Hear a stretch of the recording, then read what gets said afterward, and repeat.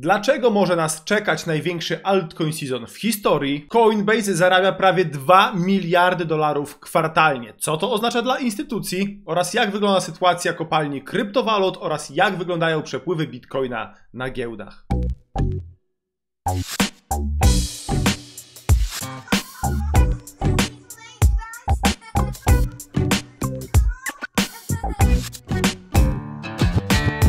Cześć, z tej strony Piotr, witam Ciebie serdecznie w kolejnym odcinku. W dzisiejszym materiale po krótkiej przerwie mam dla Was naprawdę mnóstwo, ale to mnóstwo informacji. Tak to już jest na rynku kryptowalut, jeżeli nie macie na tym rynku dwa dni, po prostu jesteś w plecy z informacjami, więc, więc szybko zabieramy się za nadrabianie. Mam dzisiaj dla Was informacje na temat altcoin season, który jak możecie zauważyć zdecydowanie się rozpoczął. Dodatkowo oczywiście sprawdzimy jak radzą sobie instytucje, co słychać w kopalniach kryptowalut, jak wyglądają przepływy Ethera oraz Bitcoina na giełdach oraz oczywiście sprawdzimy co się dzieje w Stanach Zjednoczonych ponieważ tam także wyszła pewna propozycja, która moim zdaniem będzie miała gigantyczny wpływ na cały rynek kryptowalut. Dlatego dzisiaj koniecznie, ale to koniecznie zostań do końca. Natomiast jeżeli na tym kanale jesteś po raz pierwszy, rozmawiamy tutaj właśnie o kryptowalutach, o pieniądzach, więc jeżeli te tematy Ciebie interesują, chciałbyś być na bieżąco z wszystkimi informacjami właśnie z tego rynku, kliknij teraz subskrypcję, za to także dzwoneczek, tak aby YouTube mógł Cię poinformować o najnowszych wideo. Pamiętaj jednak, nie są to porady inwestycyjne, wszystko co zobaczysz w tym materiale są to moje osobiste, subiektywne przemyślenia na temat temat rynku kryptowalut,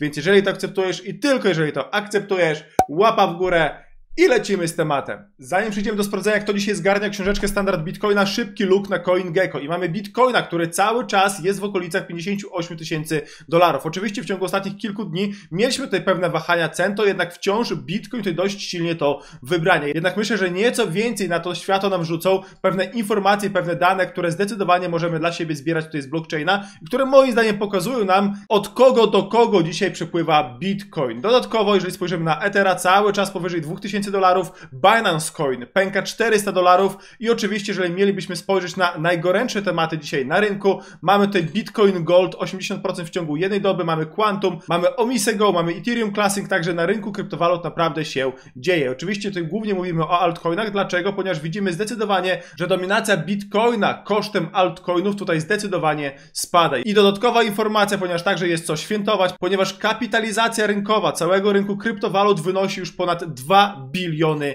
dolarów. Jednak nie wszystkie oczywiście projekty radzą sobie wyśmienicie, ponieważ także na rynku altcoinów mamy tutaj dość duże spadki. Mam nadzieję, że to jest coś, na co już jesteś przygotowany. Dlaczego? Ponieważ jeżeli chodzi o rynek altcoinów, są to rynki niezwykle niepłynne, co oznacza, że tutaj nie ma aż tak dużo kapitału. Więc jeżeli faktycznie duży kapitał będzie wchodził na rynek altcoinów, co prawdopodobnie dzieje się teraz na naszych oczach, będą momenty, kiedy także duży kapitał będzie z altcoinów wypływać. Dlatego też podczas altcoin season lokalne takie mini korekty po 30, 40, 50% na wielu altcoinach, zwłaszcza małych market capach, po prostu będą się tutaj zdarzyć. Więc w zależności od tego, jakie ryzyko możesz wziąć na swoje barki, jak sobie radzisz ze swoimi emocjami, być może jeżeli to jest dla ciebie za trudne, faktycznie może pozostanie w pierwszej dziesiątce, 20, 30 z CoinGecko miałoby tutaj dla ciebie sens. Oczywiście zrobisz jak uważasz, jednak mam nadzieję, że po prostu będziesz gotów na to, co nas czeka, ponieważ naprawdę na rynku kryptowalut szykuje się coś niesamowitego. Przejdźmy jednak do sprawdzenia, kto dzisiaj zgarnia książeczkę standard standard Bitcoina. W tym celu sprawdzamy, ile mieliśmy materiałów w zeszłym tygodniu. Było raz, dwa, trzy, cztery, więc wpisujemy liczbę od jednego do czterech. Sprawdzamy, która to liczba. Jest to liczba 4. Jest to ten materiał. Klikamy. Kopiujemy link do tego filmu i wracamy do naszej maszyny sprawdzającej. Wklejamy link, następnie filtrujemy podwójne komentarze i sprawdzamy, ile mamy łącznie komentarzy pod tym materiałem, 283 i sprawdzamy, kto dzisiaj zgarnia dla siebie książeczkę standard Bitcoina. Jest to Kamil Borek. Pytanie dla tych, co handlują na Ascent X, czyli poprzedni Bitmax. Przy próbie założenia konta nie przychodzi mi e-mail z kodem do założenia konta. Próbuję od tygodnia i nic. Czy ma to związek ze zmianą z Bitmaxa? Kamil, moim zdaniem być może używasz złego e-maila. Zachęcam Cię, aby spróbował dla siebie założyć z jakiegoś Gmaila, ponieważ ja wielokrotnie miałem problemy na przykład z kontem na wirtualnej Polsce czy na Onecie i bardzo często giełdy właśnie takie e-maile odrzucały, więc sprawdź inne maile, jeżeli to dalej nie będzie funkcjonowało, wyczyść ciasteczka, wyczyść cache na swoim komputerze, na twojej przeglądarce i następnie, jeżeli to nie pomoże, dopiero skontaktuj się z supportem. A poza tym, ogromne gratulacje, odezwij się do mnie koniecznie na Facebooku i Instagramie, tak abyśmy mogli dogadać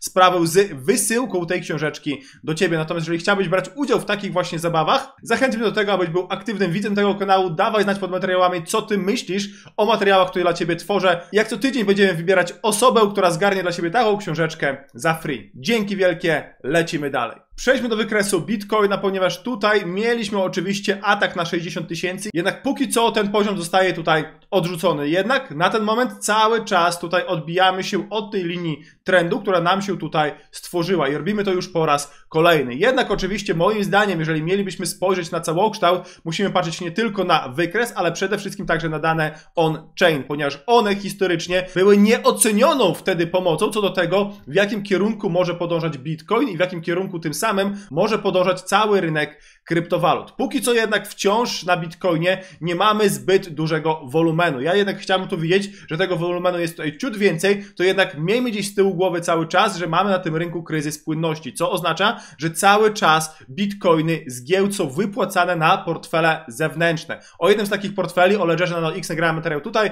więc jeżeli takiego portfela jeszcze dla siebie nie masz, zachęcam Ciebie, abyś sobie ten materiał dla siebie obejrzał. Przejdziemy dzisiaj oczywiście do tych danych, ponieważ te dane pokazują nam, że dzieją się rzeczy, które po prostu nie miały swojego precedensu w przeszłości i dzieją się coraz, coraz szybciej, co moim zdaniem może nam sugerować, że Bitcoin także szykuje nam się tutaj do pewnego ruchu. I jeżeli tutaj spojrzymy na interwał jednodniowy, zauważcie, możemy doszukiwać się tutaj takiej głowy odwróconej z ramionami. Oczywiście musimy poczekać jeszcze na pewne potwierdzenia na wybicie, ewentualny retest i następnie ruch w górę, to jednak wciąż, przynajmniej z punktu widzenia analizy technicznej, Bitcoin po prostu wygląda zdrowo. Aczkolwiek, tak jak wspomniałem, ja dla siebie chciałbym widzieć tutaj zdecydowanie większy wolumen, czyli większy kapitał wpływający na ten rynek. To jednak zdaję sobie sprawę, że ten podwyższony wolumen może dźwignąć cenę naprawdę bardzo szybko i bardzo mocno, a jak wiecie, instytucje mają czas i Bitcoina pomalutku skubią od słabych rąk na tym rynku oraz od osób oczywiście, które swoje zyski realizują z przeszłości. Jeżeli natomiast wejdziemy na interwał 4 godziny, zauważcie, że póki co Bitcoin naprawdę tutaj bardzo fajnie wybrania nam ten poziom tutaj, VPVR, który jest oczywiście profilem wolumenowym, więc pomimo tego, że być może nie ma to jakichś gigantycznych środków teraz tradowanych, to jednak największy wolumen w tym tutaj przedziale cenowym jest właśnie tradowany tutaj i tutaj widzimy pojawiają się zdecydowanie kupujący, więc ponownie znak pozytywny dla samego Bitcoina. To jednak, jeżeli faktycznie mielibyśmy tutaj przełamać tą linię, zdecydowanie retest 54 tysięcy tutaj cały czas jest na tapecie. Jeżeli to się wydarzy, ja tutaj w tym momencie będę dla siebie zagrywał longa. Przejdźmy jednak do wykresu dominacji altcoinów, ponieważ tutaj tak naprawdę dzisiaj na całym rynku jest najgoręcej. W ostatnim materiale rozmawialiśmy dokładnie o tej potencjalnej możliwości, gdzie po wybiciu tutaj z tego trójkąta zwyżkującego będziemy atakować tą linię trendu spadkowego i tym samym poprzedni opór z poprzedniego altcoin season, który okazuje się, że został przełamany dość szybko. Mieliśmy tutaj tylko jedną, zauważcie, czerwoną świecę i następnie kolejny szybki ruch w górę i na obecną chwilę zaczynamy retest. Więc ponownie mamy tutaj potwierdzenie nie tylko na altcoin season, ale także prawdopodobne potwierdzenie na kolejne wzrosty, zwłaszcza, że na interwale tygodniowym możemy tutaj zauważyć cały czas bardzo duży wolumen, co oznacza, że w altcoiny pompowane są naprawdę gigantyczne pieniądze. Dlaczego jednak uważam, że jest spora szansa na to, że ten altcoin season będzie naprawdę gigantyczny? Jeżeli wejdziemy sobie na Google Trends, jak wiecie, jest to jedno z narzędzi, które ja dla siebie używam, żeby sprawdzać sentyment, jaki mamy na rynku, ponieważ jeżeli wybierzesz sobie tutaj cały świat, ostatnie 5 lat i wpiszesz sobie altcoin season, to możesz zauważyć, że w roku 2017-18, kiedy mieliśmy tak naprawdę pierwszy taki duży altcoin season, zainteresowanie tym terminem było dość niskie. Ale to zapewne dlatego też, że po prostu altcoin season był to taki neologizm, który dopiero na rynku się pojawił. To jednak w roku 2019, w roku 2020 mieliśmy kilka mikro altcoin sezonów. Jak możecie tutaj zauważyć, zainteresowanie tutaj było dość duże. Jednak na tą chwilę zainteresowanie po prostu sięga pod sufit. I zauważcie dalej, predykcja jest, że zainteresowanie będzie tutaj cały czas rosło, co oznacza, że coraz więcej ludzi wyszukuje frazę altcoin season. Nie jest to jednak wszystko, ponieważ jeżeli wpiszecie sobie tutaj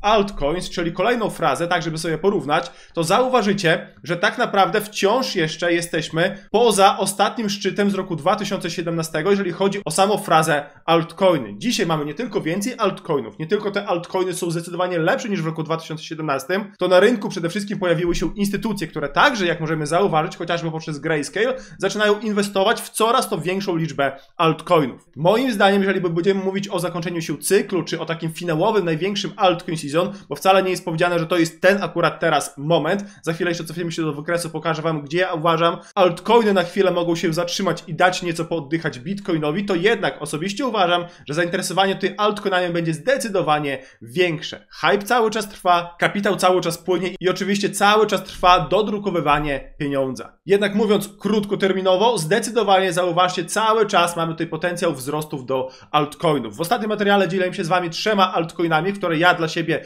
wszedłem. Po spełnieniu właśnie tych warunków, o których Wam mówiłem, to jednak tych altcoinów oczywiście na rynku jest więcej. Jeżeli chodzi o mnie, osobiście ja inwestuję tutaj w większość altcoinów po to, żeby mieć po prostu więcej bitcoina. Docelowo nie chcę mieć więcej fiatów, chcę mieć więcej bitcoina. Jednak oczywiście część zysków we fiatach realizować będę, to jednak cały czas tutaj myślę coraz bardziej długoterminowo. Mam takie wrażenie, że czym dłużej jesteśmy na tym rynku kryptowalut, nie tylko go lepiej rozumiemy, ale przede wszystkim widzimy, że bitcoin i kryptowaluty są po prostu pewnym rozwiązaniem na sytuacje na świecie, które cały czas tak naprawdę się pogarszają. Nie jest to złote rozwiązanie, jednak jest to jedno z najlepszych rozwiązań, przynajmniej, żeby chronić nasz kapitał. Natomiast ten ruch altcoinów, w którym teraz się znajdujemy, osobiście uważam, że warto będzie obserwować tutaj te poziomy, czyli okolice 47%, 50% dominacji altcoinów. Dlaczego? Ponieważ przede wszystkim mamy tutaj tą linię, która także nam tutaj łączy te wszystkie wierzchołki, więc zdecydowanie prawdopodobieństwo dojścia po prostu do tego momentu i następnie ewentualne tutaj korekta, czy ewentualna dalsza konsolidacja altcoinów, tak jak miało to miejsce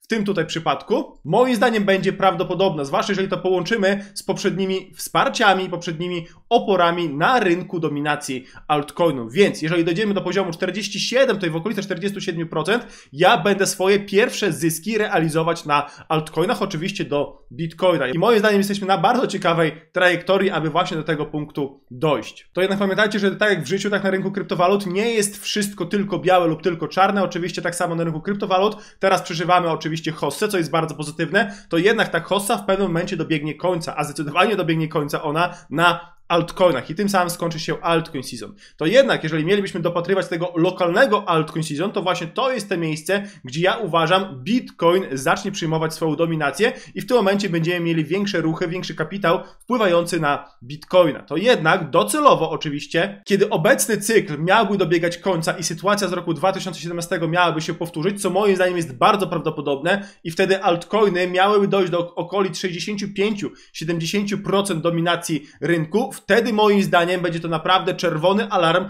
ano po to, żeby po prostu z kryptowalut ewentualnie wychodzić. Czy to do stablecoinów, czy to do fiatów. I oczywiście pamiętajmy, żeby zostawić sobie część swojego portfela naprawdę na long term, ponieważ teraz na świecie w ciągu kolejnych 5-10 lat może być różnie. Tak samo jak różnie może być z Bitcoinem, to jednak jeden z potencjalnych scenariuszy mówi nam to, że Bitcoin na naszych oczach staje się super aktywem. Póki co jednak wszystko z głową, jeżeli ja będę miał na jakichś pojedynczych projektach wystrzały po 300, 400, 500%, jeżeli chodzi o moje alty, nawet jeżeli nie dojdziemy do tego momentu, także będę realizował swoje zyski. Moim zdaniem należy nauczyć się, aby chciwość gdzieś na tym rynku odłożyć na bok. Jeżeli faktycznie uda Ci się zarobić na rynku kryptowalut i zdołasz zrealizować zyski, będziesz w tym jednym procencie na rynku kryptowalut, który faktycznie koniec końców to zrobi. Coinbase zgarnia 1,8 biliona dolarów tylko w pierwszym kwartale roku 2021. Co to oznacza dla rynku kryptowalut, dla Bitcoina i także co to oznacza dla instytucji. Sprawa jest tak naprawdę bardzo ciekawa, ponieważ 14 kwietnia, jak wiesz lub może nie wiesz, Coinbase wchodzi na giełdę tradycyjną. I dlaczego to jest tak ekscytujący moment? Ponieważ z jednej strony myślę, to jest element ewolucji, także o której rozmawialiśmy w ostatnim materiale, gdzie będziemy widzieć pierwsze i potem kolejne firmy, które także będą dominować rynek ogólny światowy, jeżeli chodzi o market cap, czyli jeżeli chodzi o kapitalizację rynkową. Moim zdaniem w ciągu kolejnych 5-10 lat takie firmy jak Facebook, Microsoft bardzo prawdopodobne, że ustąpią ustąpią miejsca firmom z rynku kryptowalut. Pierwszym zawodnikiem, który zdecydowanie stanął tutaj na linii startu i już biegnie, jest po prostu Coinbase. Jednak dlaczego jest to tak istotne dla rynku kryptowalut? Przede wszystkim, jeżeli o tym pomyślisz, wejście na giełdę publiczną sprawia, że już nie mówimy o rynku kryptowalut jako takim niby aktywie. Mówimy tu już naprawdę o poważnym przedsięwzięciu. Z drugiej strony, idąc dalej tym tropem, nowe instytucje będą bardziej się interesować Bitcoinem. Jednak nie to tutaj oczywiście jest najciekawsze, ponieważ to nie jest tym głównym powodem. Moim zdaniem głównym powodem jest to, że fakt, że Coinbase zgarnia przychodów na prawie 2 biliony dolarów w ciągu tylko jednego kwartału, gdzie w czasie roku 2020 zrobili mniej niż w pierwszym kwartale roku 2021, moim zdaniem otwierają się tutaj pewne furtki. Teraz o jakich furtkach mowa? Przede wszystkim duże instytucje, duże banki nie mogą sobie pozwolić, aby czekać z boku i się przyglądać. Jest to zbyt duży kapitał. Wyraźnie widzimy, że rynek kryptowalut zasysa z rynków tradycyjnych środki i ten rynek oczywiście tym samym rośnie. To jednak wiele banków, takich chociażby jak Morgan Stanley, także dzisiaj czytałem taki artykuł, że narzekają, że jeszcze regulacje nie są takie super gotowe, żeby oni mogli już wejść i oferować swoim klientom pełen wachlarz możliwości. To jednak wszystko to jest przed nami. Wyobraź sobie, że Coinbase na tą chwilę ma 56 milionów użytkowników, gdzie PayPal ma 360 milionów, jednak w przeciągu 15 lat to uzbierali. Coinbase po prostu leci jak szalony. Tym samym oczywiście inne instytucje także chcą mieć tutaj kawałek swojego tortu. I moim zdaniem, wiedząc, co czeka Coinbase w Q2, Q3 i Q4, większa liczba użytkowników, większe inwestycje, większe przychody po prostu stają teraz z problemem szybkiego wejścia na ten rynek. Nie mogą już więcej ignorować ani Coinbase'a, który zgarnia ich część z rynku tradycyjnego, ale chociażby nie mogą ignorować także PayPala, który także, jak wiecie, dużymi krokami wszedł w rynek kryptowalut. Jak radzą sobie jednak kopalnie kryptowalut i czy, pytanie główne, oczywiście, czy sprzedają? Mamy tutaj fajne bardzo zestawienie kilku postów od Rafaela Schulzkrafta, który bardzo często daje bardzo ciekawe posty, jeżeli chodzi o samego Bitcoina, więc zachęcam Was do tego, aby go także obserwować. Mamy tutaj informacje na temat Miner Net Position Change. Wykres ten pokazuje nam, w którym momencie kopalnie kryptowalut, ich portfele, ponieważ ich portfele są portfelami publicznymi i każdy ma do nich dostęp, czyli wiemy dokładnie, ile poszczególne kopalnie kryptowalut mają kryptowalut na swoich portfelach i kiedy te kryptowaluty te portfele opuszczają. Teraz zauważcie, że największy okres wypływów mamy już za nami, czyli te wszystkie wzrosty, kiedy Bitcoin szedł tutaj od 20 tysięcy dolarów do 60 tysięcy dolarów, były to momenty, kiedy kopalnie kryptowalut realizowały swoje zyski, czyli wypłacały bitcoiny wykopane wcześniej i po prostu sprzedawały je na rynku, a no po to po prostu, żeby mieć profit. Pamiętajcie, że kopalnie kryptowalut są to po prostu firmy, gdzie są maszyny, gdzie są ludzie, gdzie płaci się za prąd i to wszystko po prostu kosztuje, więc te firmy muszą realizować swoje zyski od czasu do czasu. Nie jest to jednak case'em na ten moment. Zauważcie, że tak samo jak przed rozpoczęciem tego szalonego rajdu do 60 tysięcy dolarów, kopalnie kryptowalut ponownie zaczynają hodlować to, co wykopali. Śmiem twierdzić, patrząc na wszystkie statystyki zarobków kopalni kryptowalut, ponieważ już są one czterokrotnie większe niż w roku 2017, pomimo tego, że mieliśmy halving, czyli mamy mniej nowego bitcoina pojawiającego się na rynku, to jednak cena tutaj bitcoina zdecydowanie rekompensuje te straty. I pomimo tego, że cena jest w okolicach 60 tysięcy dolarów, kopalnie mówią stop. W tym momencie trzymamy. Co to może oznaczać? Moim zdaniem sytuacja to się powtarza, tak samo jak mieliśmy tutaj tą sytuację przed tymi wzrostami. Kopalnie hodlują, hodlują, hodlują i moment, kiedy zaczną wypuszczać swoje coiny na rynek, tym samym zwiększy się płynność rynku kryptowalut i tym samym, jako że pojawi się większa płynność, nie będą dźwigać tej ceny zbyt mocno i zbyt szybko, bo na tym im oczywiście nie zależy. Tutaj także zauważcie, że ta wyprzedaż trwała tutaj od poziomu właśnie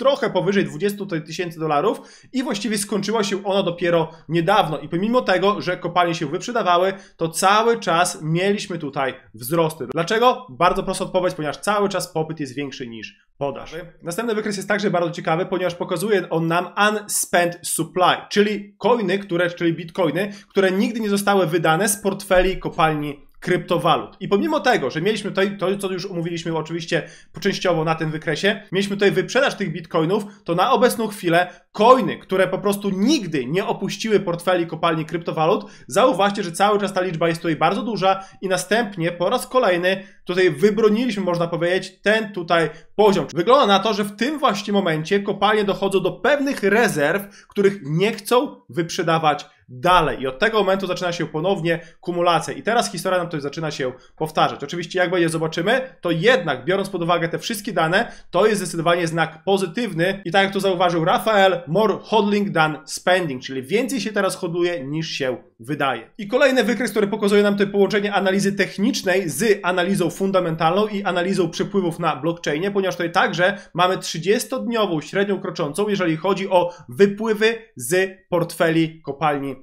kryptowalut. I zauważcie, że tutaj po tym piku, który mieliśmy, który tutaj sprawił, że doszliśmy do 60 tysięcy dolarów, nie zdarzyło się to, co się zdarzyło w latach poprzednich. W roku 2013, kiedy mieliśmy taki pik, czyli bardzo duże wypływy na 30-dniowej średniej kroczącej z kopalni kryptowalut, mieliśmy tutaj lokalne, bardzo głębokie korekty. W tym momencie było to 60%. Tutaj pękła nam bańka w roku 2014 i mieliśmy kolejne spadki w okolice 80%. Następnie rok 2017, z czego prawdopodobnie spora część z Was tutaj pamięta. Także zauważcie, mamy średnią kroczącą dochodzącą do dość wysokiego poziomu, czyli do takiego, do jakiego dochodziła w latach poprzednich podczas ostatniej hossy i także mamy duże pęknięcie ceny. To jednak teraz, pomimo tego, że mamy spore wypływy z kopalni kryptowalut, nie ma tutaj praktycznie większego ruchu ceny. Mamy oczywiście lokalne korekty po 20%, to jednak nie jest to współmierne z tym, co widzieliśmy w latach poprzednich. A co to oczywiście oznacza i co nam potwierdza? Ano to, że na rynku Bitcoina mamy kryzys płynności. Jest coraz mniej Bitcoina na rynku, a teraz dodatkowo kopalnie przestały się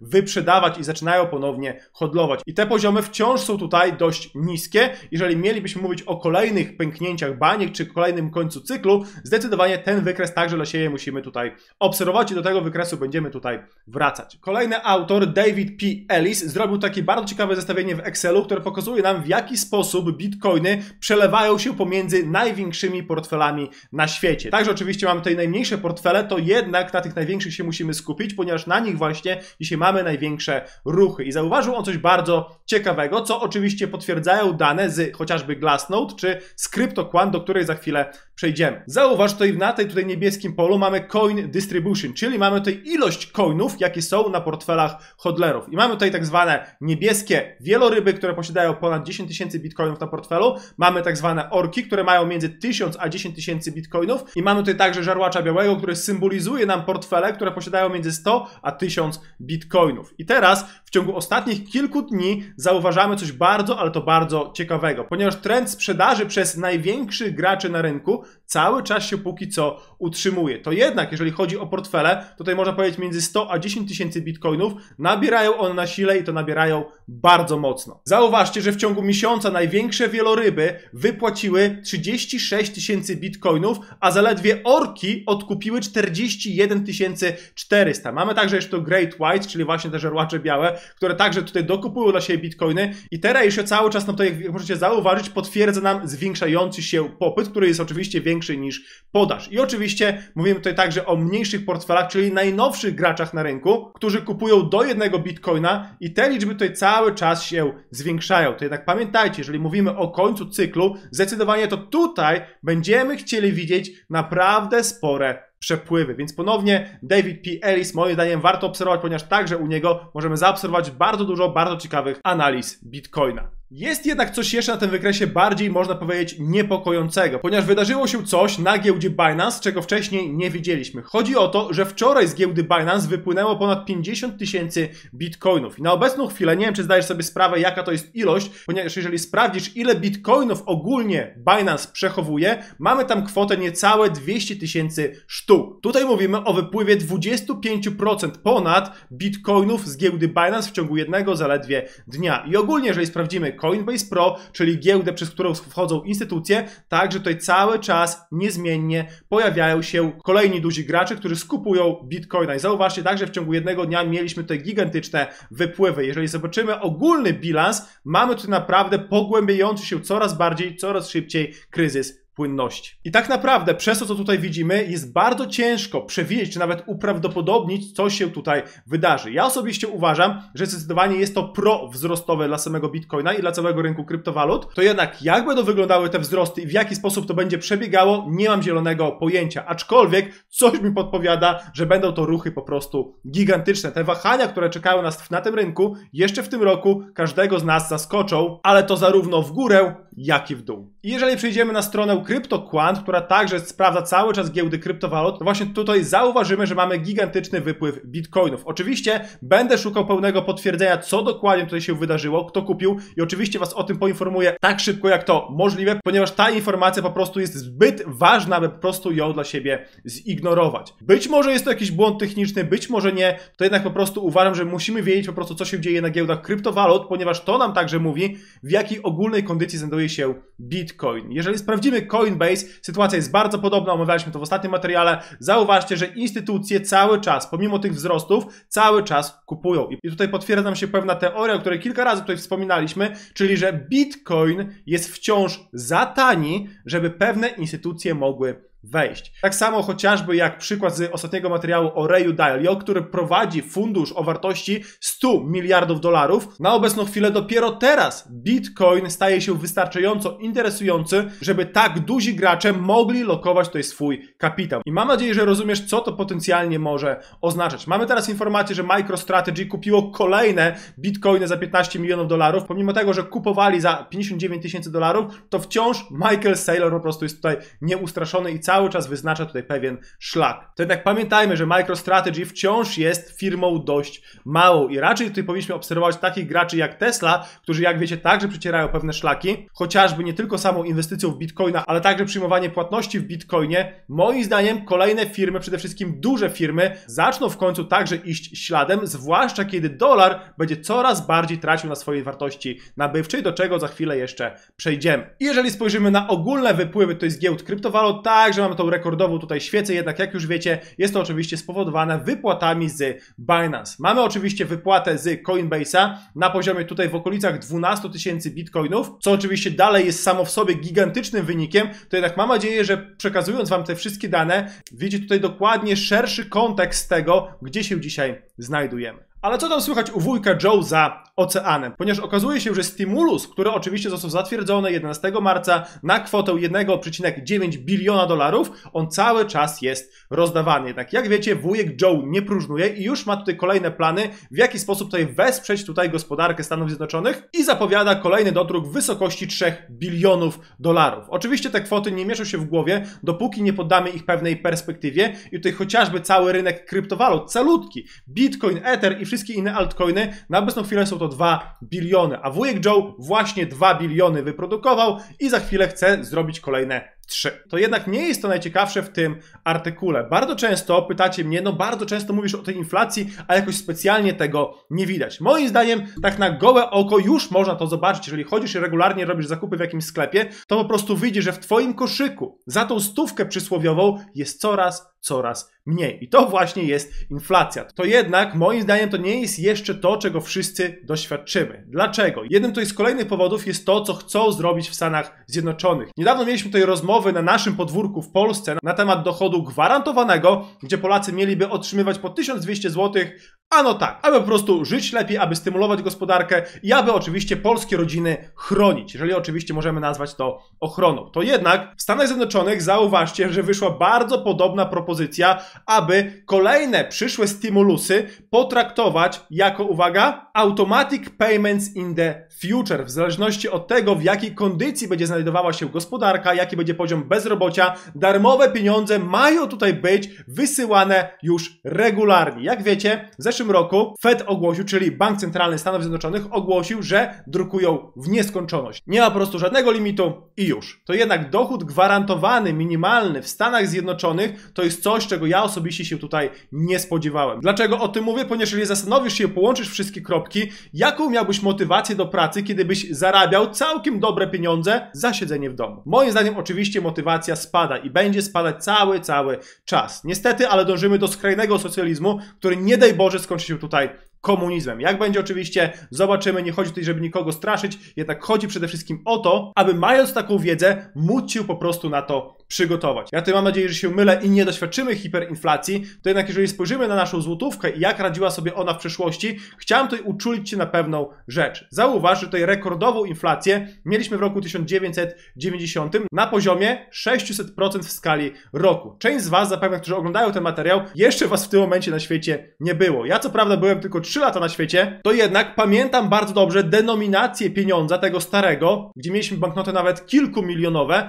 na właśnie obecne złotówki. To jednak to, na co chciałem, żebyś zwrócił uwagę, to zauważ tutaj ten wzrost inflacji, zauważ 3%, 4,4, 4,9, 8, 7, 9 i dopiero wybucha. To nie dzieje się z dnia na dzień. Oczywiście, moim zdaniem, to będzie szybciej niż w ostatnich dziesięcioleciach i ta inflacja zacznie przyspieszać z roku na rok, a no dlatego, że mamy dodruk, który po prostu nie ma swojego precedensu w przeszłości. I tak samo, jeżeli chodzi o zakończenie się kryzysu, czyli później wyjście z tego trudnego okresu, zauważcie, że ta inflacja jeszcze utrzymywała się tutaj dość wysoko przez kolejne 10 lat. Więc jeżeli piszesz, że straszysz tą inflacją, a jej po prostu cały czas nie widać, ja po prostu chciałem Ci przekazać informację, żebyś ewentualnie na prawdopodobne takie wydarzenie mógł się przygotować. Ponieważ na obecną chwilę to, co się dzieje w Stanach Zjednoczonych, to, co się dzieje w Europie, to, co się dzieje w Polsce i to tylko w kontekście samego dodruku, nie licząc już po prostu pozamykanych firm i po prostu wszystkich tych lockdownów, tworzy się tutaj po prostu fundament, aby obrabować nas z naszych wszystkich oszczędności. Czy Bitcoin jest rozwiązaniem? Nie wiem. Moim zdaniem jest na to bardzo duże prawdopodobieństwo. Natomiast jeżeli chciałby dowiedzieć się więcej na temat obecnego altcoin season i dlaczego prawdopodobieństwo tego, że będzie się on rozkręcał jest dość spore,